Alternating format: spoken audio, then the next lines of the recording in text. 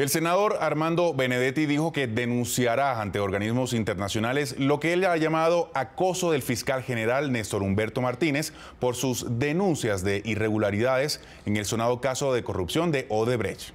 Voy a poner una medida cautelar ante la Corte Interamericana de Derechos Humanos.